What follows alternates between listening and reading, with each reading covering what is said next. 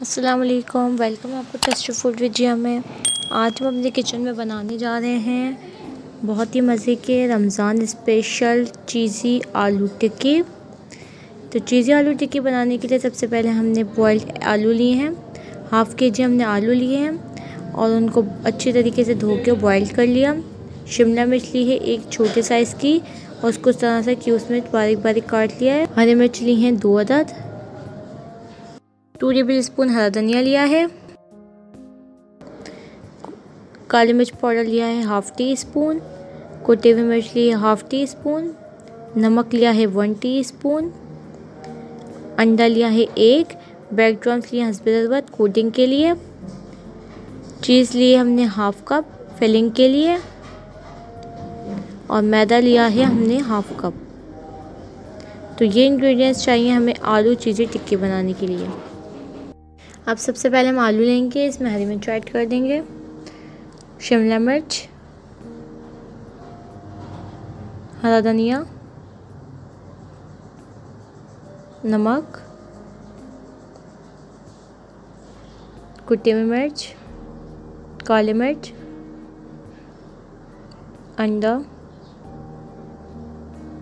और इन सब चीज़ों को मिक्स कर लेंगे।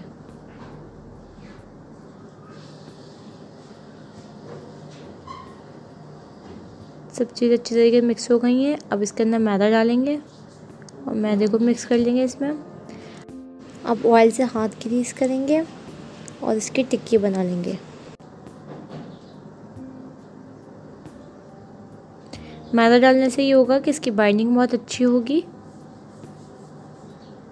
अब इसके ऊपर चीज़ रखेंगे थोड़ी सी।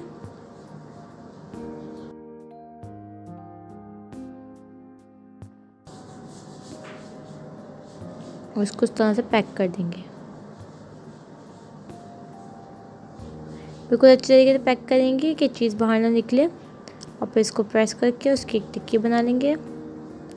और इसको मैदे में, अब इसको हम ब्रेड में कोट करेंगे।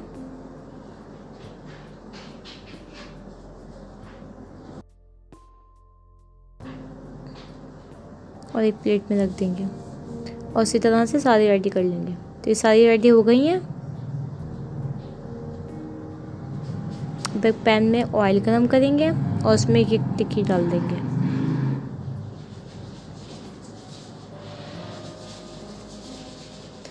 बहुत मज़े की बनती है। आप ये रेसिपी अफ्तारी में ज़रूर ट्राई कीजिएगा। आप इसको आप सहरी में भी बना सकते हैं।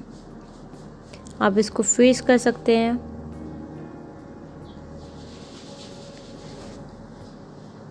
अभी थोड़ा सा नीचे से गोल्डन कलर आ गया, इसको हम टर्न करेंगे। इसको हम मीडियम फ्लेम पे तलेंगे क्योंकि आलू हमारे बॉयल थे। बस हमें इसमें कलर देना है।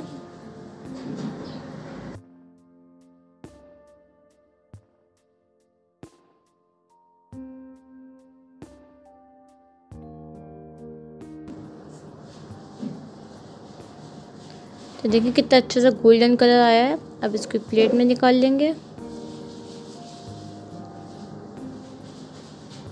और इसी तरह से तल लेंगे सारे।